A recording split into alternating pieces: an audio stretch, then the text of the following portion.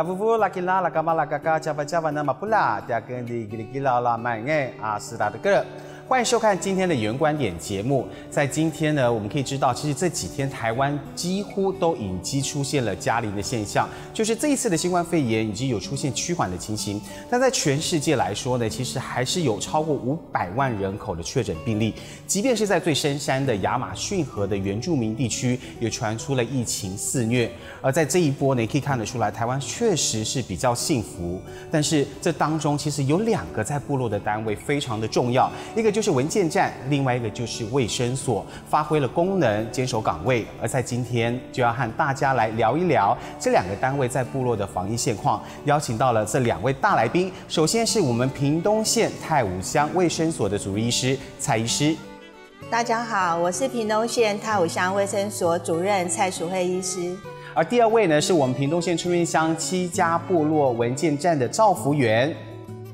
呃，加瓦加瓦亚马布拉迪亚根迪拉乌拉布，我是七家文件站的赵服员张美花，谢谢。非常谢谢两位来宾来跟我们大家一起谈一谈。而在进入节目主题之前呢，我们特别来到了屏东县太武乡的卫生所，来看现场的防疫情况，来看我们的采访报道。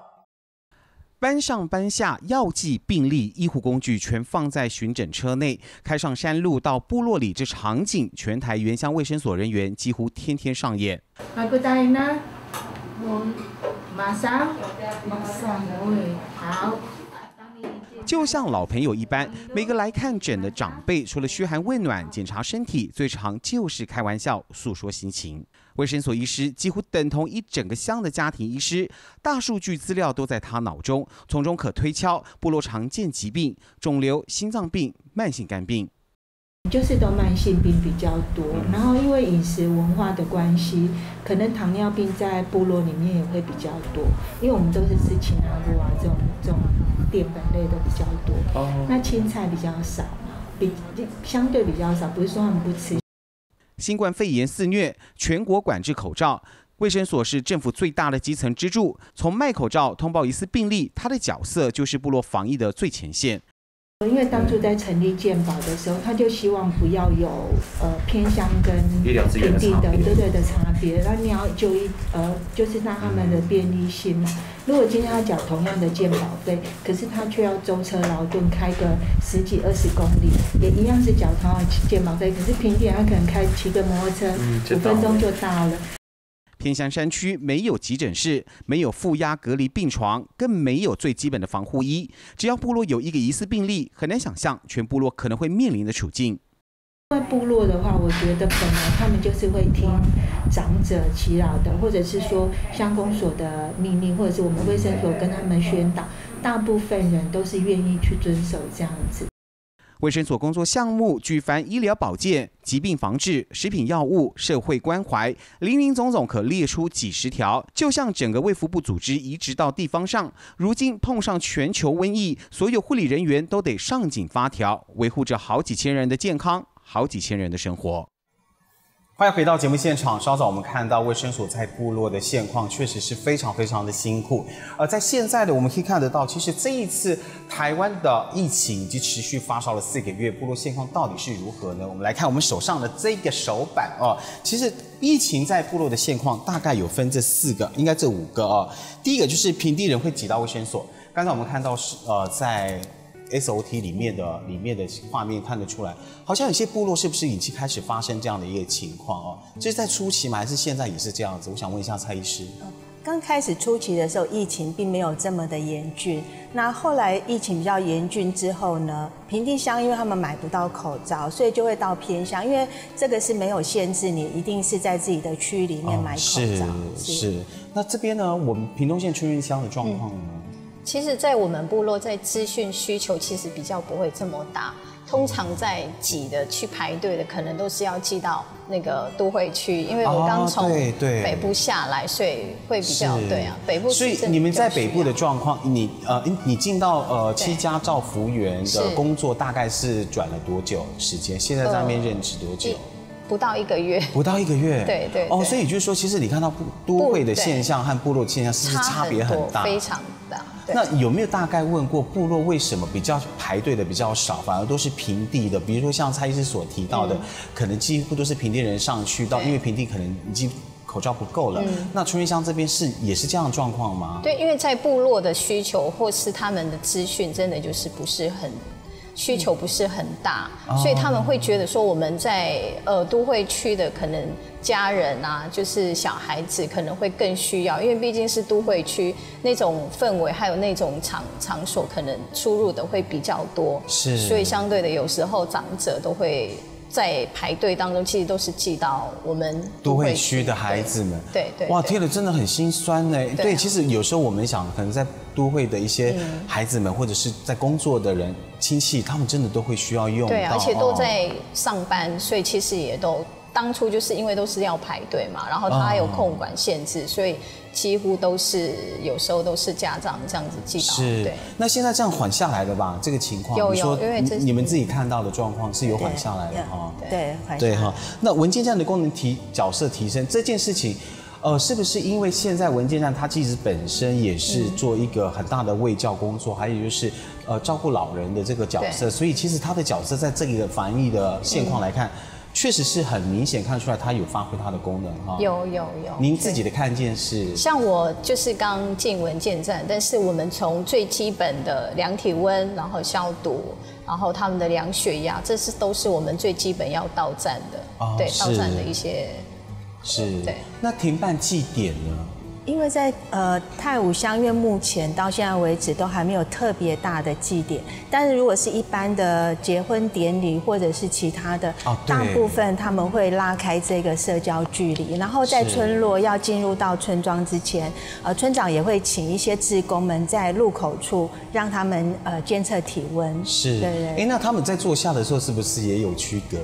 以前我记得好像一桌要十个人，对。那现在也大概就是五个或到六个这样子。哦，那七家这边呢？像我们就是大祭典就是丰年祭啊，对。然后最最近就是要八月份就是丰年祭嘛，但是以这样的疫情，我们大我们会以就是尊重我们当地的灵媒，我们的一些族人，然后来开会。至于这个疫情，我们不晓得会不会持续，然后对，所以我们还会再做。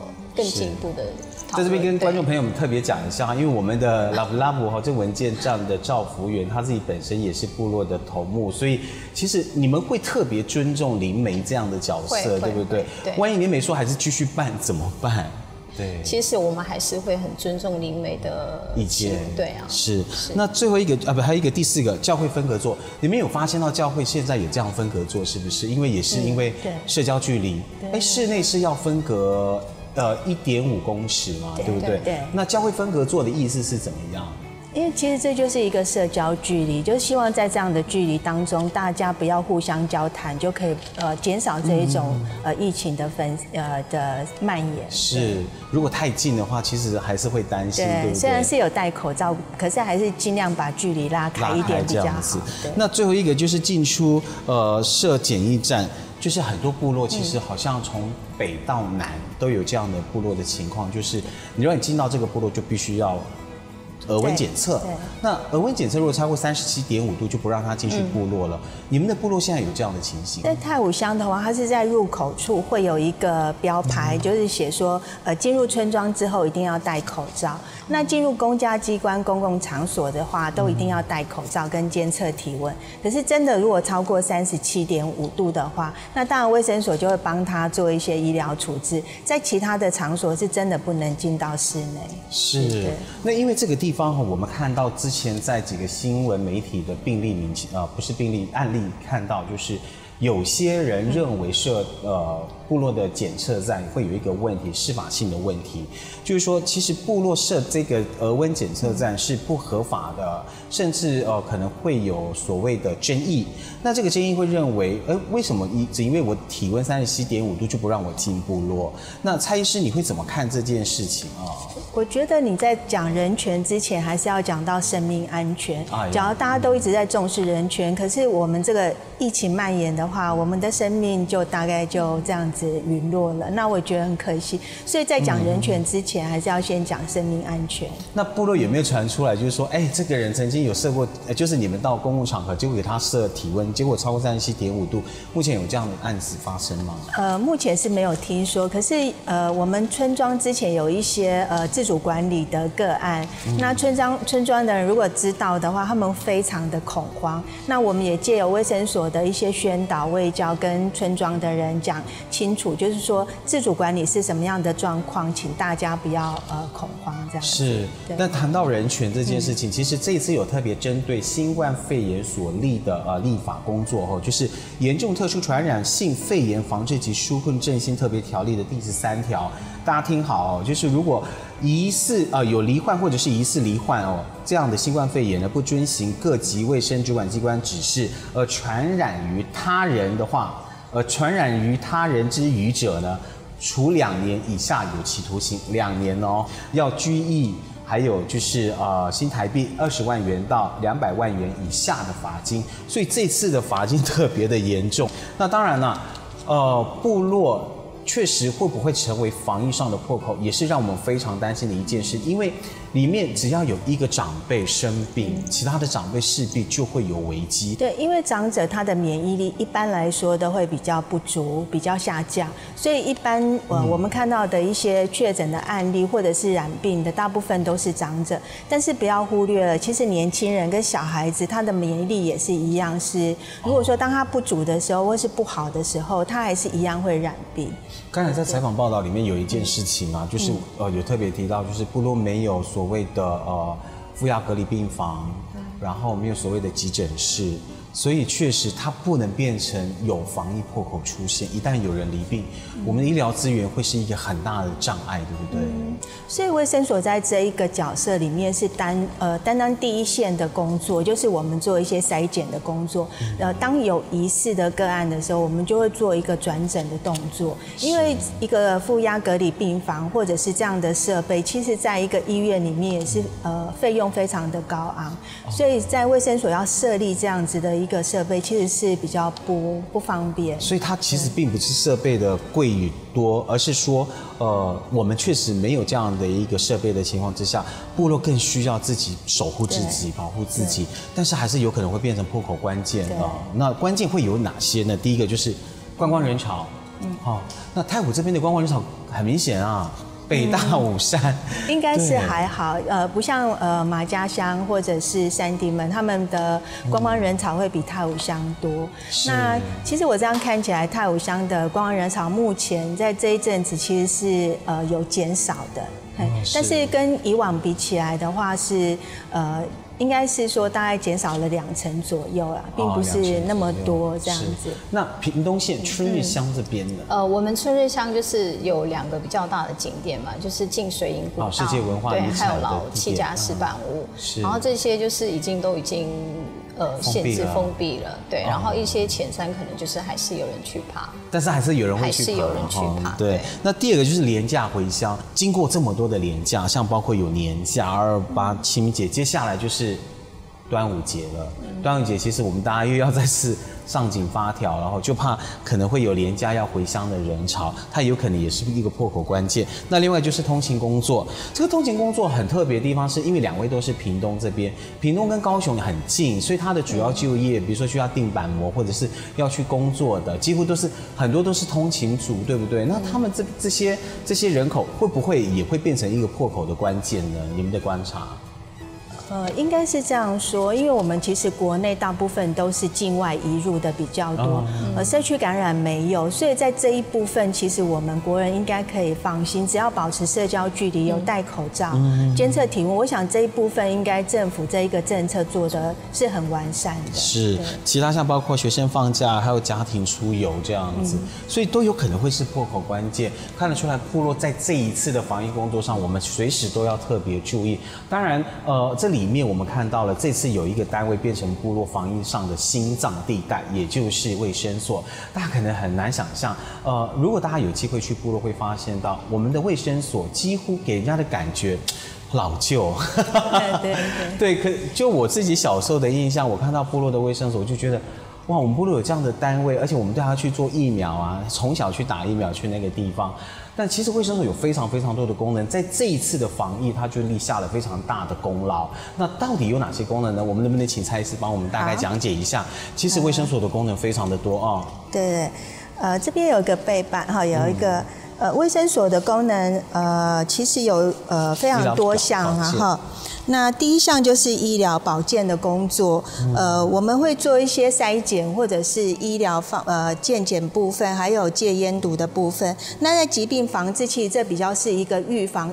医学的部分哈，可能我们会呃帮小朋友或老人家打疫苗，再来是呃登革热的防治，呃其他像这一次的防疫工作也是卫生所在担任第一线的防疫工作，再来是食品药物，呃我们有一些稽查员或者是药师，他们会针对这一些问题到部落里面去做一些稽查呃或者是宣导的工作，再来社会关怀，那在部落里面呢会有一些居家护理或者是居家。医疗文件站的设置，然后就是照顾一些还呃现在呃还没有染呃在呃亚健康的时候，呃在就是还没有进入到疾病之前的一些做的一些社会关怀的一些是，所以你们的业务量非常的大哎，非常的繁但是基本上 一个卫生所大概编制人口才多少啊？呃，以前的编制是一个村呃。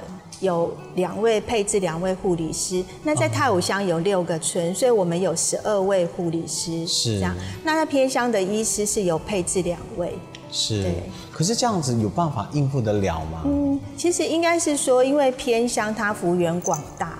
所以他们人口虽然是不多，可是因为呃幅员广大，所以他们要到部落去的路程会比较遥远。而且部落虽然是比较聚集，可是有一些地方可能住的地方会稍微远一点。所以其实护理人员的工作，他们其实是还蛮辛苦的。哦，所以就是说，其实，在屏东算是原住民部落比较幸福哈，因为我们原住民部落都比较聚集。如果像泰武呃泰雅族或者是布农族这样比较远的幅员广大的，它确实。光是在巡诊上面就要花很长的时间哦。但是就你们自己看见，刚才有一个叫做社会关怀这件事情，那你们跟文件站这边的互动到底是怎么样？要怎么分工啊？嗯，那你们这阿布这边呢？你你看到的，如果说跟呃卫生所这边的互动和分工怎么做？呃，因为文件站的部分，只能说可能就是配合卫生所，就是他们的宣导卫教。因为毕竟卫生所是专业的，然后我们文件站几乎都是属于陪伴，然后就是看我们今天问我们哪里的不舒服啊，那呃什么状况，然后这样子跟他宣导，有这样对，对，几乎其实我们还是。专业的我们还是要交给哇，这是无缝接轨呢哈，所以你们这边的工作可能这边先做卫教，但是如果真的有需要的长辈，确实就要用到卫生所。那蔡医师呢，你怎么看跟文件站这边的合合作分工？因为在太武乡的话，文件站大概就是对于一些呃健康的长者或者是亚健康的长者，做一些延缓失能的一些呃工作。呃，那当他们呃有一些需要我们做提供一些医疗或者是健康的咨询的时候，我们的卫生所的功能就会进驻到里面这样子。是，确实我们看到卫生所在这一次的防疫工作上面做了非常大的功能。那当然，在下一阶段呢，我们就会跟大家来谈一谈文件站的功能到底在哪里。我们稍待一会回来。文件站的就是属于真正的在地老化，落实了在地老化，然后预防他们失智，然后我们就是造福员，就是属于陪伴，陪伴他们，就是还有课程来跟他们互动。哎呀！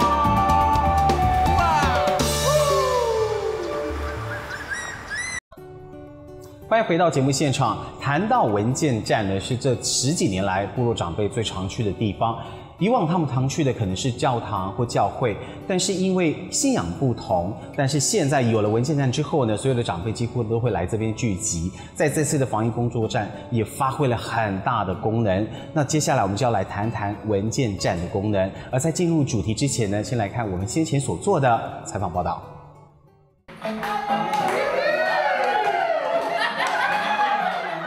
拿着自己的串珠作品一一走秀，屏东嘉兴部落的长辈每个人脸上都是满满的喜悦和自豪。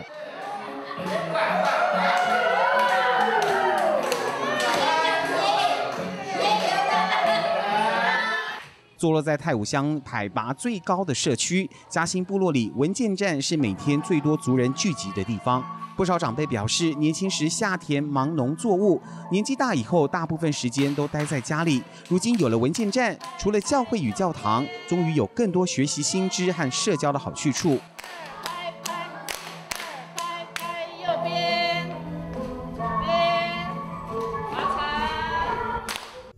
ki kita ke boy yang mana seperti kisuk ke bayam bubu masa mapa sak tu amanu kisuk ke bam kisuk Ah, uh, kiso amo ta ah, tai cha uh, ah, si kiso aso amaya tu markili va di kan tu uh, mapadak va ta kina sava sava na cidi ini ka maleng tu. Avan cha sa tu an ijo nu ma uh, pai ka tina uh, puling aringa am sangi mas ponus anu uh, apua ya tema jute anu iten. 镜头转到山脚下的太武乡平和部落，文件站活动一开始，主持人紧急先宣导戴口罩的必要。太武乡有南北大武山，是台湾南部践行的热门景点，就怕出现防疫破口。我们来到外面有疫情，然后我们来到外面办活动，我们也让他们想要更接近土地，所以我们每天在这里办活动，而且又在室外，当然也是还是要做平日的工作，就是量量量体温啊，还有戴口罩，还要那个每一每一天的出入登记簿，这些都是我们必要做到的。文件站卫教宣导工作，让大家早有警觉，彼此不握手，保持安全距离。进入会场还得用酒精洗手。这一天是学习部落媒人的成果展，所有排湾族文化精髓全在里头。部落半数以上和附近村落的长辈都到了，大家都希望在这课程中让文化延续。我们常常会让五夫跟小孩一起共学。那对那个这个部分是我们一直以来长期有在做的事情。因为有文件站，我觉得老人家有一个心。里的寄托，或是安心的说，哎，我每天有一个地方可以去，我可以去那里学学东西，我可以去那边跟朋友聊天。老实讲，我们很多的文化的东西都慢慢在流失掉。其实要特别聚集他们，不是件容易的事情。可是其实我们每一天，因为有老人在，他们每天就可以是我们的学习的字典。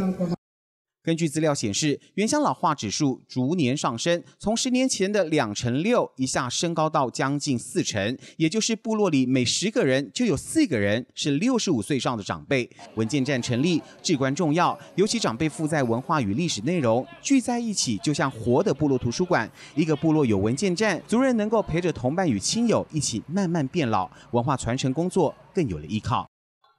欢迎回到节目现场。刚才我们看到文件站确实有很多的工作要做，包括有健康的，还有就是一些文化的内容。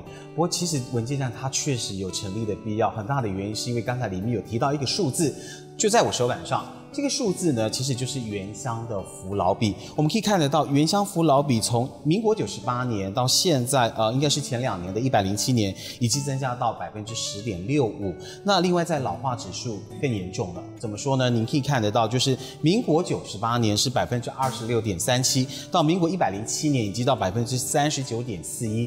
那这是两年前的数据，但是以现在一百零九年势必也增加了非常多。那也就是说，平均在部落里面呢有。十个人有四个人就是六十五岁以上，所以这是很明显的老化数据哦，也就是我们讲的老化指数。蔡医师，请教一下，您觉得这个数据是就您呃在很多地方做巡诊看到的情况真的是这样子吗？呃，大部分是这样子，因为在呃我们医疗已经比较进步了嘛，所以大家的健康其实指数都是往上提升的。那再来就是少子化的问题，所以相对的，我们的老化的程度就变得比较严重一点。那在太武乡的话，事实上现在已经呃超过六十五岁以上的大概有十一点多 percent，呃，所以已经进入到快要接近到高龄化的呃高龄社会了。对，讲到高龄社会这件事情，我们其实担心的是在这个老化指数是六十五岁以上哦，可是。原住民部落如果五十五岁以上，因为我们领老人年纪是五十五岁。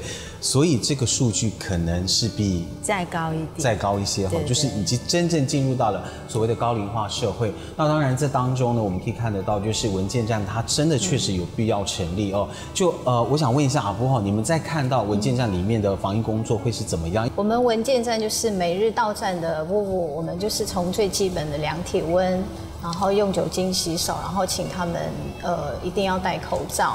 然后在体温，如果我们在超过大概三十七，然后三十七点五，我们就会请他注意，或甚至有没有问他有没有不舒服的状况。如果真的不舒服，然后就请他就是不要来，可能就是在家休息。或是请家人带带去看诊。是，但我们知道你是从都市到回部落嘛？那在都市的时候，你看到都市原住民的情况跟部落原住民的情况，是不是落差很大？因为在部落的话，就像我们有看到有文件站，但是当初你在都市是从事也是造福的工作吗？呃，也是属于这，就是五十五岁以上的老人家都是。可是我们那个是长青乐活，就是一些退休对退休的人员，然后我们是。再生价值，然后培训他们，就是入校，然后幼儿园去服务，他们是有领取工作费的。哦，对。然后我们这边的，就是真正文件站的，就是属于真正的在地老化，落实了在地老化，然后预防他们失智。然后我们就是造福员，就是属于陪伴，陪伴他们。然后一天的有一天的，就是还有课程来跟他们互动。可是完全不同的性质哦，完全不同的性质。可是看到在部落跟在都市的原住民长辈，呃，在心境上、在健康上，是不是也有很大的落差？主要原因是什么？我们主要就是文化的不同。其实我们原乡和都会区的原住民当然是不同，因为我们排就是以我排湾族，然后又是呃春日乡的，我们文化的那个。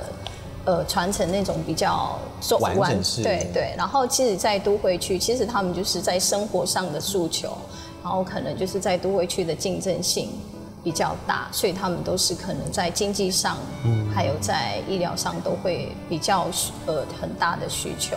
然后我们在部部落，就是可能就是真正落实就是在地老化。对，完全就是不同，完全非常不同。可是我们看到，呃，我记得有一个印象，就曾经我在采访工作上面有碰到一个情况，我一直以为在都市的原住民可能生活上会比较好，但是其实并不是这样子。可能他需要一开门就是柴米油盐酱醋茶，全部都需要金钱。可是，在部落，他的社会资源体系比较足哦，可能外面就有菜园可以采一采菜。那老化的情况，大家是一起慢慢变老，尤其是有文件站之后，所以在都市的原住民是不是其实会让让我们比较担心，你会不会也会担心这一块？其实主要是因为他的社会资源体系可能不像部落这么完整，对不对？对啊，对啊，因为他们在都会区就是不像我们在部落都是可以分享、分享，然后就是左右邻舍，你今天多什么我们就分享什么。可是，在都会区大家都是一定是就是像刚刚主持人说的，就是一件开门就是柴米油盐都是要钱，所以他们其实真正不会。就是，所以我们在台北市才会有一个在长青乐活这一块，就是他们退休了，但是就是不要在家里就是荒废掉，他们就是利用他们的专长，然后就是分享我们部落的文化，让在都会区的原住民，就是在汉人更清楚，其实我们这些长辈也是还有很多功能的。哦，回馈社会，然后从当中也可以乐活这样子，我觉得这这是很棒的一个 idea 呢。在部落的话又很不一样哈。但是我必须要先讲一件事情，就是文件站的服务项目到底有哪些？因为在这次的防疫也发挥很大的功能。我们能不能请阿福帮我们介绍一下文件站的功能到底几乎基本上会有哪些内容，好不好？我们文件站呢服务的项目就是简易健康照顾，就是我们每日到站的那个服务们，我们都是从最基本的。量体温，然后量血压，然后请他们戴口罩，然后才能进我们的站内。然后延缓老化呃老化失能，然后比如说健康操、文艺，然后心灵课、文化音乐，我们就是一天的站内，我们会有几个小时的核心课程。哦，我们会安排大概三大的呃课程，就是从体适能，然后古意人生，古意人生就是可能文化的分享，对，然后一些。呃，古谣传唱，对，让他们就是更多的分享，来启发他们更多的呃快乐啊！不要说都是我们讲师在在的去分享，对啊。然后对居家的关怀，居家关怀就是如果我们站内的屋没有到的时候，我们可能会做个别的访视，好，然后去家里找去问他们关怀。这一次是不是新冠肺炎的时候，其实有些长辈真的也不敢去文件站，所以你们就必须要采取主动的角色。对对对，但是通常我。就是我们七家文件站的服务都很踊跃，就是很固定，就是喜欢，就是 喜欢聚在对对对对，当然就是在家里，他们也会闲得发慌啊。对 对，所以他们都会几乎都是会来站内。好，然后营养对，然后我们每日中午就是有我们的厨师帮我们配，就是每日的餐点。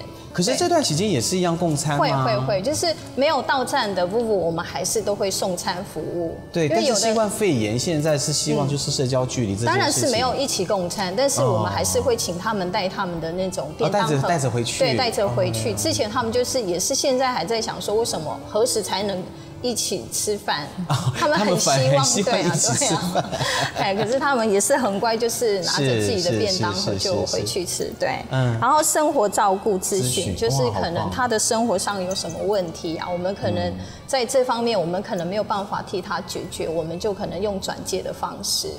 对啊，嘿，比如说有什么样的案例哈，可能就转接，呃，就转到卫生所这边去，是不是？对对，因为我们通常进去的物都是属于健康或亚健康的，像可能一些比较失智比较严重的，我们可能就会转到失智据点。所以蔡医师这边，你们就是长长期就是要有一个很好的接轨系统，对不对？就是可能文件站这边发现到哪些长辈的需要，就是直接会通报到卫生所这边，我们都会转就就是转介，就是交给有没有碰过什么样的一个个案？现在转介对转介的部分，因为其实我们跟文件站的工作人员其实都还算是联系还蛮紧的，所以他们任有任何问题的时候，会先告知我们的地段护士。就在村庄的护士，那告知他们我们有这样的一个个案，我们怎么处理？那可能就由地段的护士去评估看看，是要直接转到什么样的单位，还是到卫生所做治疗这样子。是？那再接下来还有什么？对，就就是对，就是刚刚我们跟医师讲的，就是转介服务，就是看他的居家护理啊，或是他辅具的提供，就是辅具的需求。哦，还有辅具需求，有些长辈可能行动不方便的时候，行动不便需要轮椅啊，或是什么床，还有厕所的一些辅具供那个病床也可以呀，是啊，都可以，对，其实这对对对，这个都是我们可以转介的，然后提供他咨询。是我里面看到好几个功能，对部落长辈来讲非常重要，尤其是延缓老化失能。可是这件事，刚才你提到一个角度，就是说，其实长辈很喜欢共餐，那。又很喜欢大家一起来聊一聊聊天，因为我们原住民部落很喜欢这样。可是里面有提到一件事情，它势必也是一个很重要的文化传承工作，对不对？你们有这些核心课程，尤其文化、音乐、心灵课程这些东西，其实多多少少取代了，应该不是取代，就是重新延续部落传统的习惯，长辈会聚在一起。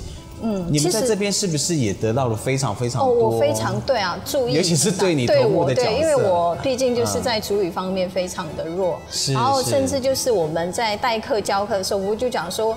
啊不，我听不懂。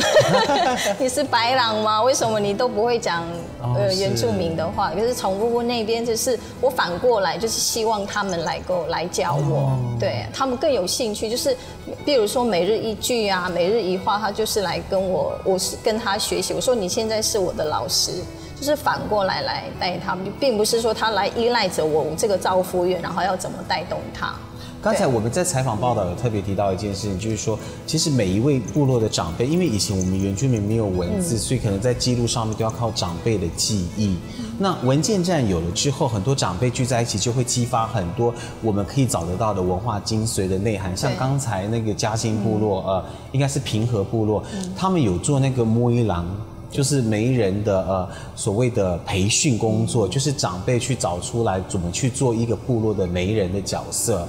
那七家部落是不是也有这样子？尤其是你自己作为归从的头目，是不是你也从中学习到很多祭典的东西？有有，就是像我们每日核心的课程，就是像请老师呃讲，就是传唱我们的古谣，然后很多的祭歌，这这。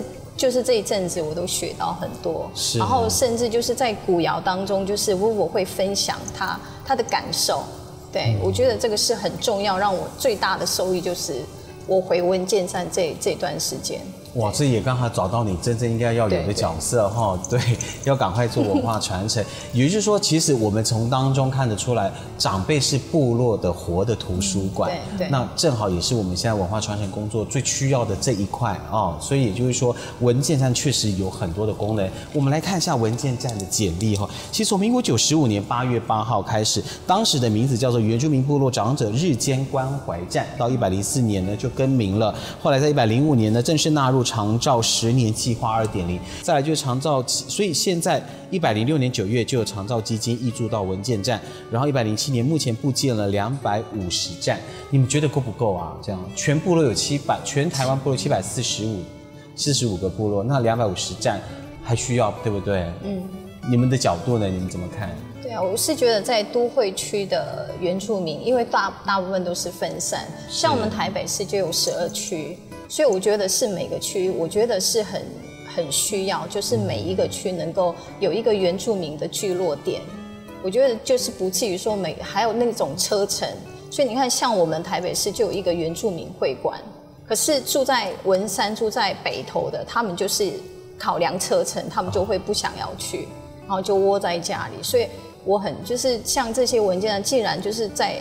如果说只关关心部落，可是我们都会去的原住民，我觉得是更需要的。嗯，是蔡医师呢，您的看到呢？呃当初呃潘孟安县长他当初的就希望在屏东县打造一个安居乐业的一个一个县市嘛，所以他当初有希望说一村一站，就是一村每一村都要一个文件站，所以目前在太武乡有六个村有六个文件站，所以这样子就可以呃以往还没有到每一村有文件站的时候，老人家是要舟车劳顿，然后到某一个村庄有文件站的地方，然后参与这样的活动。那现在在自己的村庄已经有，而且有一些文件站的工作人员会到家里去接老人家到文件站，所以这样子的方式就让一些他们可能本来要待在家里这样很无聊的亚健康或者健康的老人家，可以到文件站做一些延缓失能的工呃运动，对。可以看到呢，这一次在部落防疫工作上，文件站有不可或缺的角色，甚至现在有很多的长辈还是持续进到文件站里。但其实，在部落处处有防疫法宝。我们说防疫，不如说是增加抵抗力。像包括传统舞蹈啊，还有传统食材，到底还有哪些内容可以让我们增加抵抗力呢？在下段节目更精彩，稍后回来。呃，能取得到在地的食材，就尽量多吃一些蔬菜跟水果。最近几年，我发现到有很多的研究越来越指出，就是我们部落传统食材也有高营养价值。首先，这个就是刺葱。刺葱在我们前屋屋那个时候啊，前坐月子屋就会说这个。刺葱可以加我们腌肉，就是我们坐月子的餐。对我印象最深就是我坐月子的时候还有吃到这个。再来就是最近几年养生市场非常受欢迎的，我们讲说谷类的红宝石红梨哦，红梨这个部分哦，我想问一下蔡医师，最近在部落是不是也特别的夯啊？应该是近几年比较夯，因为它是从国外的藜麦开始到呃国内的红梨开。哦，大部分都南美洲的藜麦。对对对，那他们一直炒这一个东西，那就说它的抗。抗氧化的能力非常的高，对，非常强，所以就开始炒作起来。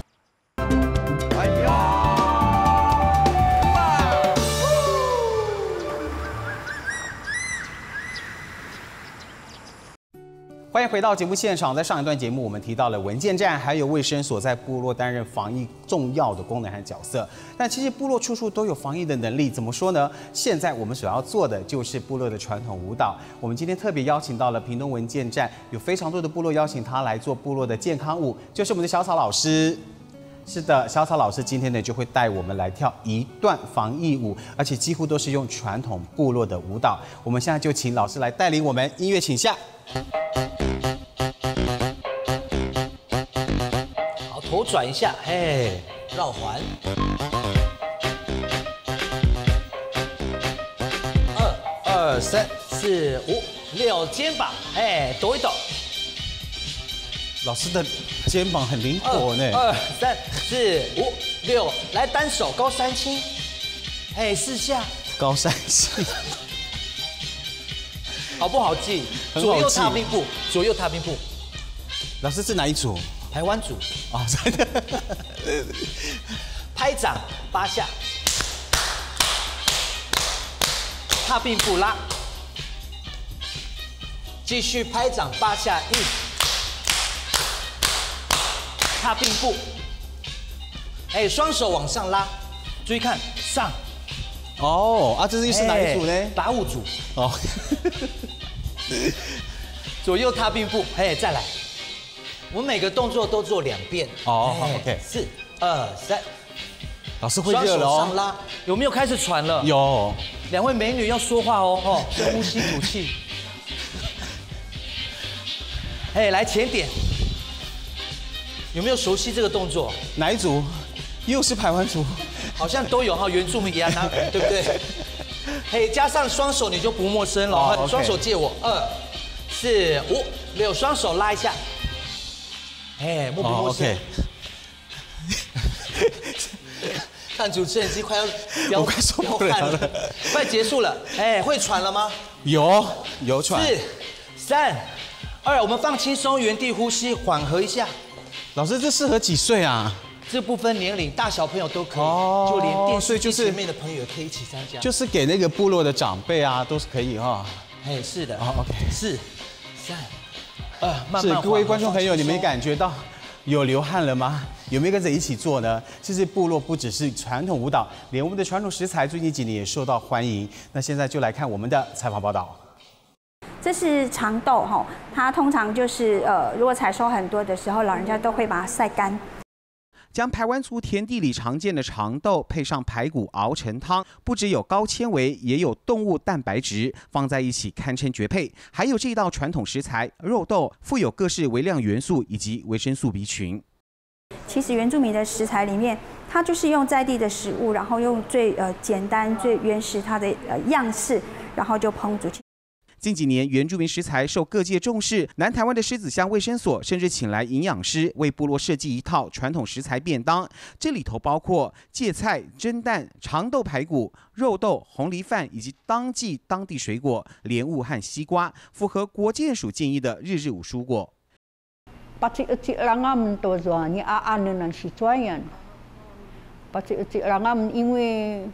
Nya iribu na marani aja ah, nya ah, bubu nya ah makati ya aman munara ba tata ma awai me na sai jama ingui wai me mai te na hanto nong yao lah.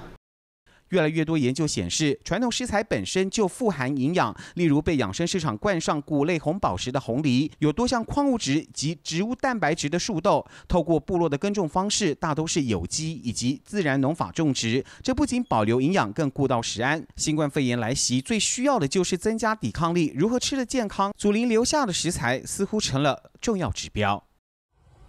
欢迎回到节目现场。在上一段节目呢，我们有提到文件站和卫生所很重要的功能。在这一段节目呢，我们就要来看看部落处处都有防疫的能力。那首先呢，我们先来看一下现在到底卫生署，呃，应该是说国健署是怎么给大家建议的健康食材。我想问一下蔡医师我们，目前国健署这边所提供的健康指南，能不能给大家看一下到底是什么内容？好，呃，应该大家都非常的常听到这样子“天天五蔬果”的这样。的一个名词，那五蔬果呢？它是三蔬二果，就是三份的蔬菜，两份的水果。那一份蔬菜的量呢，就是蔬菜煮熟之后半碗的量。那水果的话，大概就是自己的拳头这样子，叫做一份的量。那其实这样子一般人都不见得做得到，所以在原乡其实也是有一点困难。但是还是尽量就是呃能取得到在地的食材，就尽量多吃一些蔬菜跟水果。那其实天天五蔬果里面讲到的蔬菜跟水果，这样子对健康其实是不完整的，营养是不足够的，还是得加上一些其他的蛋白质，呃或者是淀。淀粉类的东西，还有油脂的东西，乳制品，因为乳制品它可以呃增加我们的身体上的钙质啊，对，所以其实要这样子的全部的全方位的食材内容，才能照顾到我们本身的营养成分。哦，但是我们最近几年，我发现到有很多的研究越来越指出，就是我们部落传统食材也有高营养价值。首先，这个就是刺葱。刺葱的高营养价值，好像我得到的数据和资料是它的钙质非常的丰富。嗯但是刺葱在部落来讲，它其实并不是所谓的主菜，对不对？好像都是用来做配料。比如说阿福这边看到的部落都把那个台湾族都是用在什么地方哈？刺葱我们就是部落都随手可得嘛，对啊，然后有时候在家里的后山就可以种到刺葱，然后刺葱在我们前屋屋那个时候啊，前坐月子屋就会说这个刺葱可以加我们腌肉，就是我们坐月子的餐。对我印象最深就是我坐月子的时候还有吃到这高钙。对我看到的资料好像说他的研究结果是。刺葱它的高钙能力是三分之一碟等于一杯牛奶，我说哇有这么强的功效，而且它是高铁这样子，就是它的呃微量元素非常的丰富。那第二个就是树豆了，树豆在阿美族传统传统的说法好像说是男人的威尔刚，这样部落的威尔刚有这样的说法，有没有听过？才是我是听过，但是我对这方面没有研究。哦，是是。台湾族台湾族就有啊，就是还要加排骨啊，一定要加排骨来吃，是就是说威尔刚啊，是，也就是树豆它的营养非常全面，因为我看到的资料也是这样子哦，就是说树豆它其实拥有也是各样各式的微量元素，还有含那个抗氧化物，那它是 B 群也非常的丰富。再来就是最近几年养生市场非常受欢迎的，我们讲说谷类的红宝石红梨哦，红梨这个部分，呃，我想问一下蔡医师，最近在部落是不是也特别的夯啊？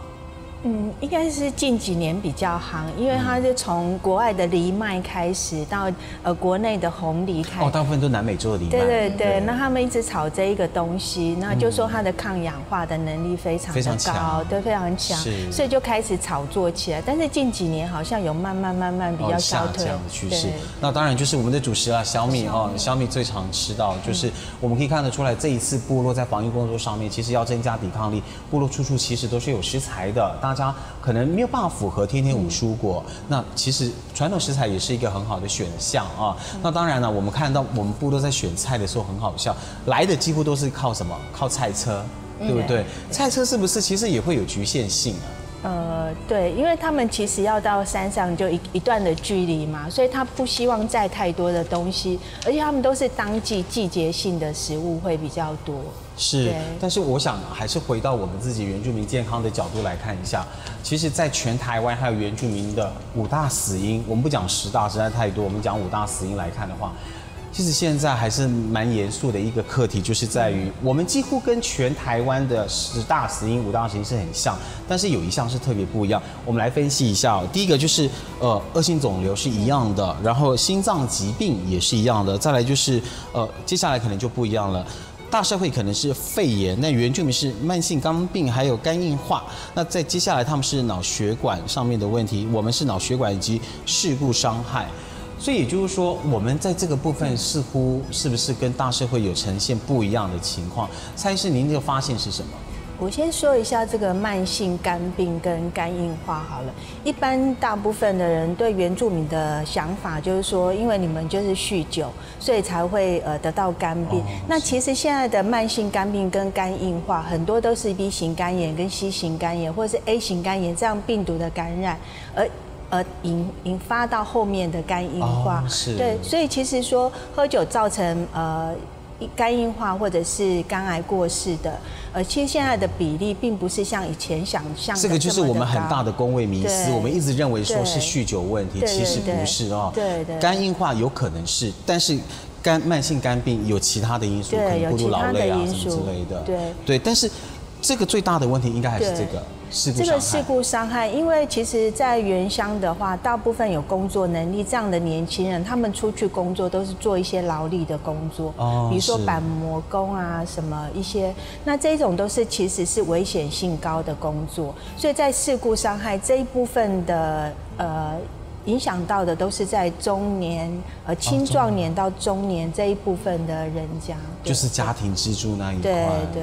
那也就是说，我们看到我们跟大社会最不一样的地方，这两项，那其实也牵涉到一件事情，就是部落的基础设施的问题，还有医疗资源，对不对？这里面也看得到医疗资源。那蔡司，你认为医疗资源是不是也会影响到我们的死因啊？这样看得到？呃，其实现在因为呃。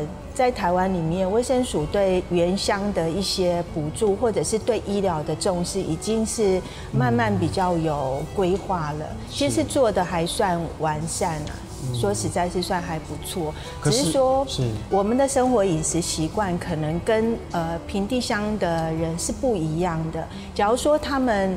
比如说，我们有这么多的食材是就地就可以取得到，可是他们饮食习惯不改变的话，其实还是一样。说来说去，回到一件事情，就是饮食习惯哦，就是我们部落的长辈啊，不过你们在做供餐的时候，或者是在文件站给长辈吃的时候，是不是也特别经过呃那个所谓的营养师的调配？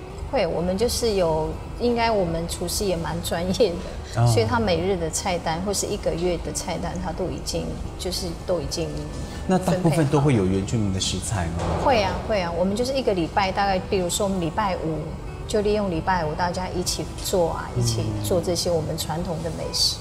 是，当然我们可以看得到，刚才我们在采访报道里面有特别提到，狮子乡的卫生所特别找来了呃营养师，也特别针对他们在地的食材来做所谓的呃。原住民便当就是长辈适合吃的，也比较可以入口的东西。那我们现在最近几年是不是就开始一直不断的推广原住民的食材？但是说来说去，还是回到刚才蔡医师所讲的饮食习惯哦。怎么说呢？就是饮食习惯真的是会影响到我们原乡很大的健康的因素，是不是？因为我们原乡的主食大部分都是小米啊、地瓜啦、芋头这些东西，其实都是淀粉类的。哦。那蔬菜并不是没有，比如说地瓜叶。其实随手可得，呃，这些刺葱其实也还是可以摘得到。可是他们愿不愿意去吃这些蔬菜嘞？或者是你说的菜车上来原乡，他们愿不愿意去买那一些蔬菜？这是一个重点。如果他们不去改变他们的饮食习惯，还是以他们原来的饮食习惯，其实这样的营营养还是不均衡。哇，对，所以我们回到原点来看一件事情，原住民的平均余命到底结果如何？这里面就很明显的数据看得到，其实我们的平均寿命有在增加了哦。你看，比如说从民国九十八年到一百零七年，增加了几岁哦？你看，它从平均七十，全台湾是平均七十九岁到八十八十岁，所以就是大概增加了一岁。